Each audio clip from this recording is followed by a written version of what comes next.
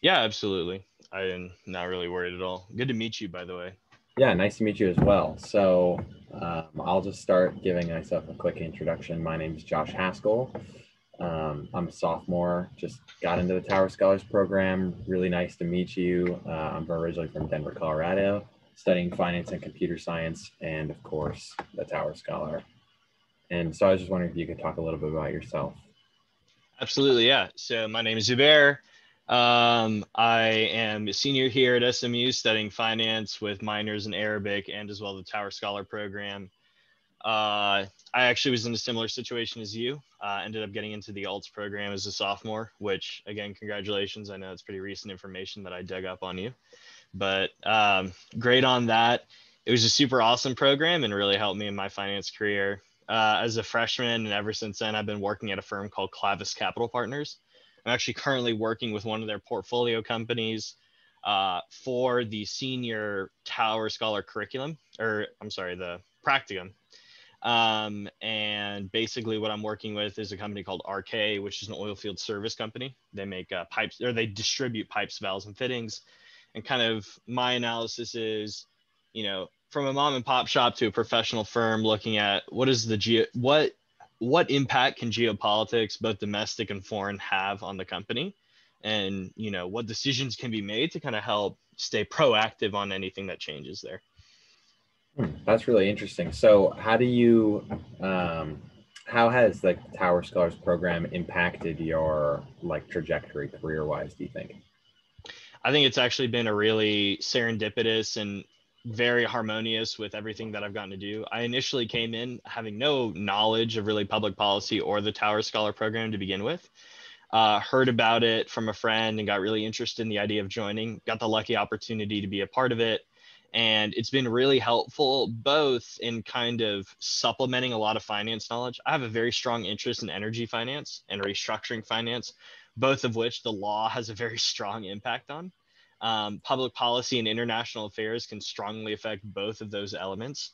Uh, you look at tariffs and how that's hurt plant manufacturing companies.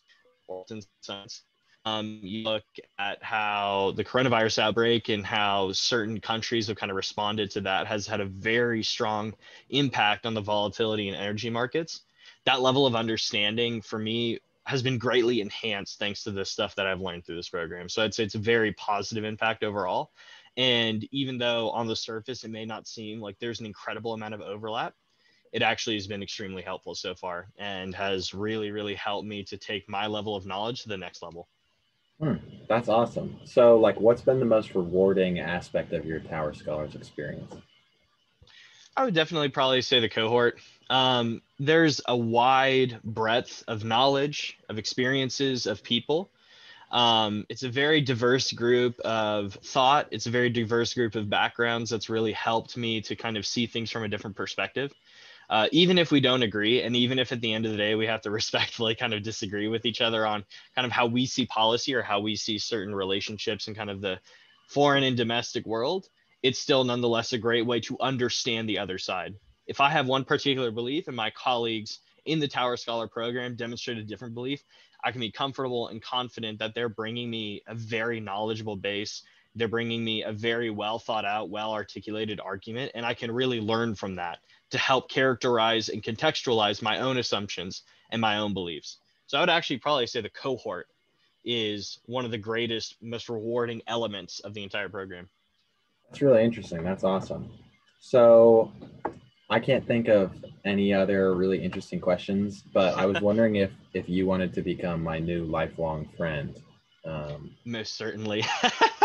so um, it actually is really cool in you know in a very in a very serious element it's really cool how you're going to get a very similar experience to what i had me and two other sophomores uh, who i'm sure you know cameron police and racine farouk who unfortunately are not part of the tower scholar program also started ALTS as sophomores we all experienced a great degree of success and you know we really busted our butts we really you know put ourselves out there and tried our very best to be as successful as possible i'm confident i'm going to see the same from you and I'm really excited to see, you know, in the future, as much as, you know, I consider myself a little bit of a goofball. I love joking around and having fun, but I definitely see a lot of really great uh, elements for you in your future.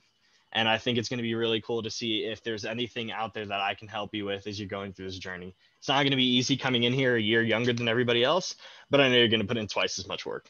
So it's going to be I really, really cool appreciate that, Zubair. Yeah, it's really nice to meet you. And if I definitely have any questions about the program, either Tower Scholars or Alts, I'll, I'll definitely make sure to ask. And I really appreciate it. And everything you said is super cool. So thank you so much yeah. for talking. Yeah. And uh, yeah, I'll talk to you later.